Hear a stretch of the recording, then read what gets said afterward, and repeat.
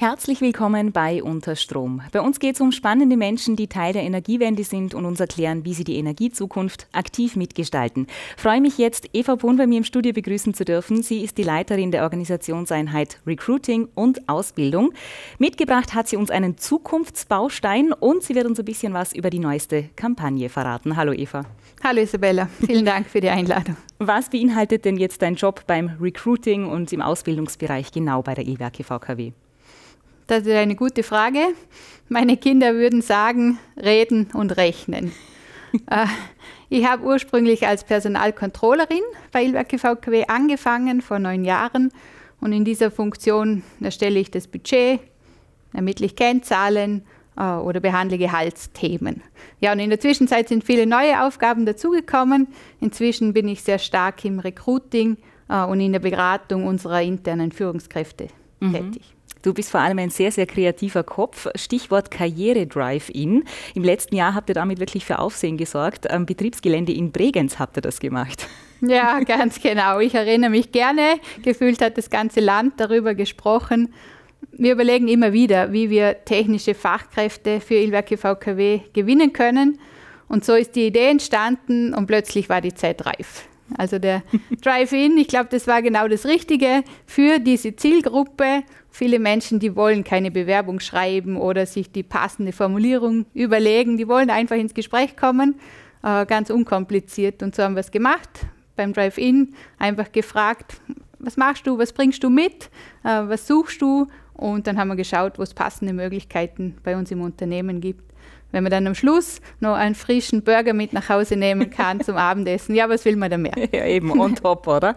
ja. äh, wirklich großartige Idee und wie ihr das umgesetzt habt. Gibt es derzeit auch Möglichkeit, sich irgendwie niederschwellig bei der E-Werke VKW zu bewerben? Ja, das ist uns weiterhin sehr, sehr wichtig. Äh, darum haben wir die Express-Bewerbung installiert. Das ist bei uns online möglich. Da kann man mit drei Mini-Fragen wirklich gleich sein Interesse deponieren, wenn jemand das Gefühl hat, ja, Ilwerke VKW könnte ein attraktiver Arbeitgeber für mich sein. Also einfach online vorbeischauen, Name hinterlassen und wir melden uns dann innerhalb von zwei, drei Tagen.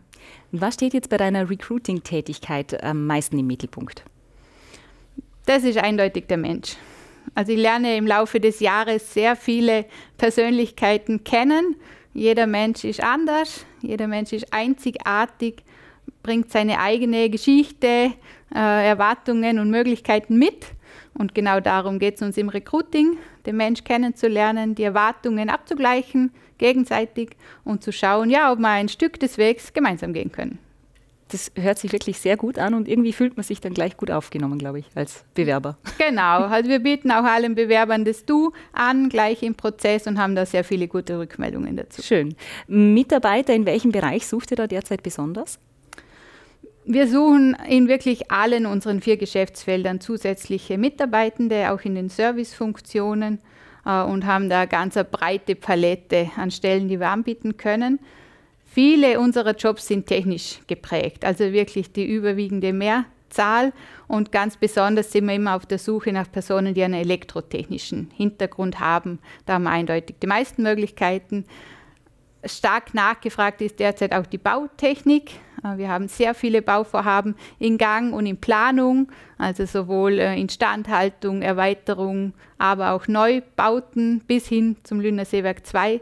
Das wird ein riesengroßes Projekt und nimmt ganz ordentlich Fahrt auf. Ja, und gerade auch um die Elektrotechniker anzusprechen, habt ihr eine neue digitale Kampagne jetzt gestartet. Ja, genau, die geht jetzt in Kürze online. Ich freue mich schon sehr. Könnt euch freuen auf diesen Clip. Wir wollen da wirklich äh, auch erfahrene Fachkräfte ansprechen. Es kennt jeder diesen Moment, wo es einfach das Gefühl gibt, die Welt ist mir irgendwie zu klein, die Berufswelt ist mir zu klein, man kennt langsam die Abläufe, man kommt vielleicht in so einen Trott hinein und da wollen wir signalisieren, das muss nicht sein, brich aus, bei Ilwerke VKW gibt es viele Möglichkeiten, große Möglichkeiten und ja, das wird in diesem Clip transportiert. Was macht denn die Ilwerke VKW zu einem so, so guten Arbeitgeber? Ja, da müssen wir wahrscheinlich jetzt eine eigene Folge drehen.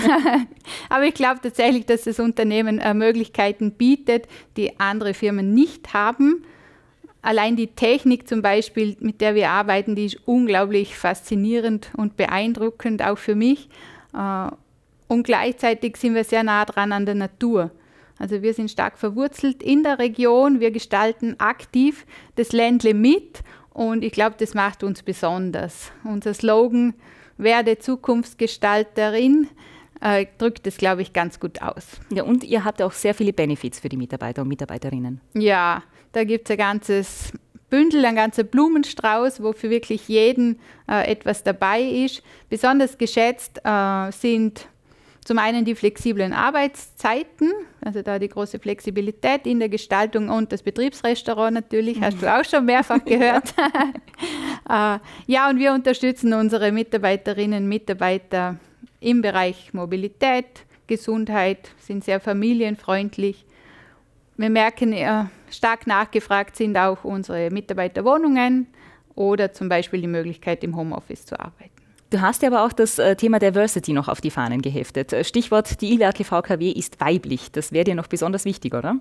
Ja, das stimmt. Das ist ein Herzensanliegen von mir. Also ich sehe da noch unglaublich viel Potenzial. Wir versuchen das Unternehmen diverser aufzustellen, wollen insbesondere auch Frauen ansprechen, für das Unternehmen gewinnen, Frauen in der Technik äh, verstärkt, äh, verstärkt einzusetzen und es gelingt uns immer besser, zum Beispiel äh, insbesondere auch in der Lehrausbildung. Was macht ihr denn da speziell für die Frauen? Wie geht er auf sie zu?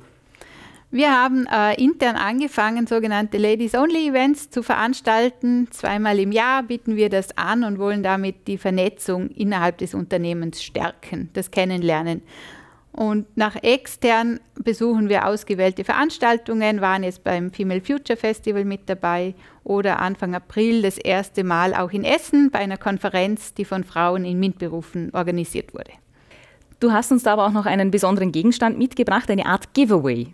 Ja, genau. Ich habe euch einen Baustein mitgebracht, einen Baustein für die Zukunft. Äh, dieser Stein ist Originalausbruch aus dem Lüner Seewerk 2.